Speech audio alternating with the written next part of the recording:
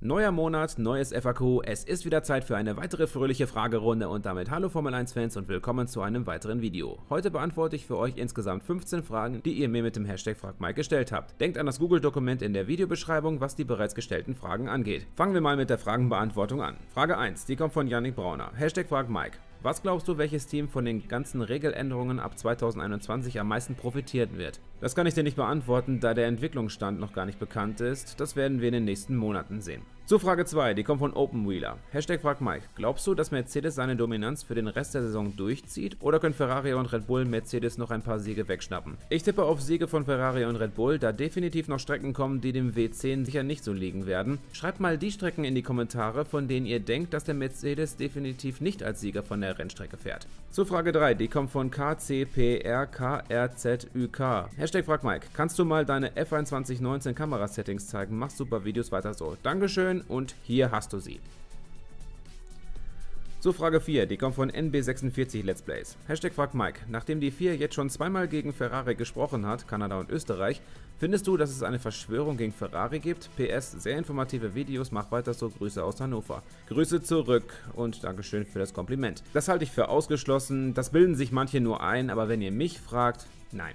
Zu Frage 5, die kommt von Giuliano B. Hashtag fragt Mike. Warum hat man Soft Rot, Medium Gelb, Hard Weiß und nicht Soft Gelb, Medium Weiß und Hard Eisblau oder Orange genommen? Ganz ehrlich, ich weiß es nicht. Ich habe gesucht und gesucht, aber ich habe nichts Passendes an Infos gefunden. Ich könnte jetzt nur raten. Es könnte sein, dass Rot schon immer eine aggressive Farbe war und sie haben sich wohl für diese Farben entschieden, weil die halt kontraststark sind und besser zu erkennen sind, als zum Beispiel Rosa oder der Hypersoft. Ich habe sogar in Pirelli eine E-Mail geschrieben, habe aber bisher keine Antwort. Ich halte euch da auf dem Laufenden und poste es in die Community-Funktion. Zu Frage 6, die kommt von Linus Schwarz. Hashtag fragt Mike. Denkst du, Verstappen würde Hamilton im selben Auto besiegen? Boah, schwer zu sagen. Für mich ist Max der aggressivere Fahrer, aber ob er Hamilton schlagen kann, kann ich nicht beurteilen. Zu Frage 7, die kommt von Oliver Kology. Hashtag fragt Mike, glaubst du, dass noch in dieser Saison ein Mittelfeldteam aufs Podium kommt? Das ist ja bereits in Deutschland passiert. Aber wenn du mich fragst, ob das nochmal vorkommen könnte, würde ich sagen, dass es nur bei einem Regenrennen passieren könnte mit viel Chaos. Zu Frage 8, die kommt von Johannes Schalburg. Hashtag fragt Mike. Horner hat ja gesagt, dass er immer noch an Gasly denkt, aber Marco denkt das Gegenteil davon.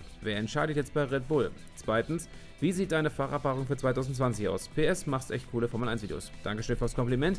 Ich würde sagen, Dr. Marco trifft die Entscheidung, da er Berater bei Red Bull ist. Und zu deiner zweiten Frage, ich glaube Verstappen und Lukas Auer, da Gasly wahrscheinlich gehen muss. Zu Frage 9, die kommt von Hendrik. Hashtag fragt Mike, muss man als Fahrer einen Knopf drücken, um zu funken oder wird jedes Wort als Funk aufgenommen? Man muss einen Knopf drücken, genauer gesagt den Radio-Knopf, um mit der Box zu kommunizieren. Zu Frage 10, die kommt von Enrico Zeitler. Hashtag fragt Mike, kannst du dir es vorstellen, dass McLaren nochmal zum Mercedes-Antrieb wechseln würde? Es läuft ja ganz gut mit Renault.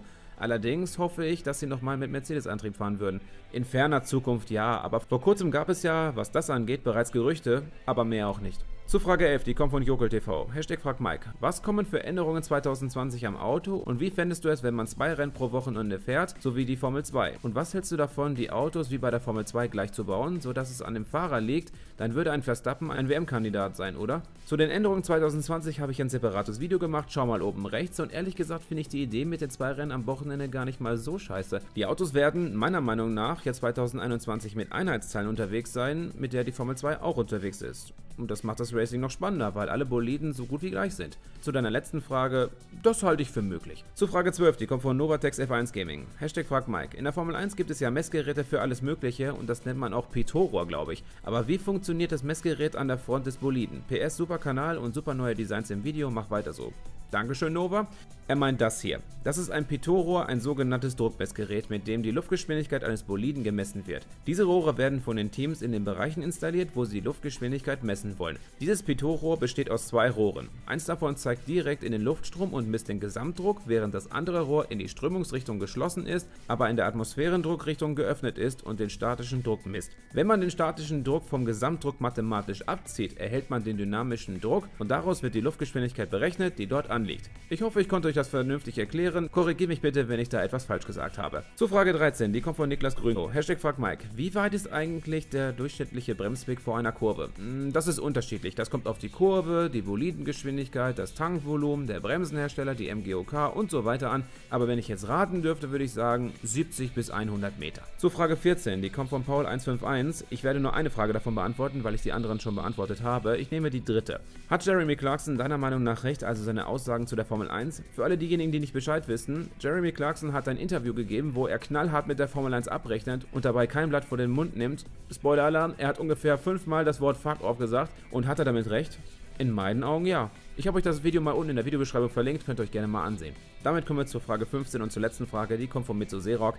Hashtag fragt Mike, wie ist das eigentlich geregelt, wenn in einem Formel 1 Rennen kein einziges Auto die Zielflagge sieht? Hat dann der gewonnen, der als letztes ausgeschieden ist? Äh, das ist zwar absolut unwahrscheinlich, aber sollte es so kommen, würde ich sagen, ja. Ihr seid an der Reihe, liebe Leute. Bombardiert mich wieder mit Fragen für das nächste FAQ im September. Vergesst das Hashtag fragt Mike nicht und überprüft das Fragendokument in der Videobeschreibung. Das war's mit der Fragerunde für den Monat August. Wenn ihr mich jetzt noch supporten wollt, könnt ihr auf Like klicken und wenn noch kein Abonnent dieses Kanals ist, kann das mit einem Klick auf Abonnieren nachholen. Wir sehen uns im nächsten Video. Bis dahin, ciao.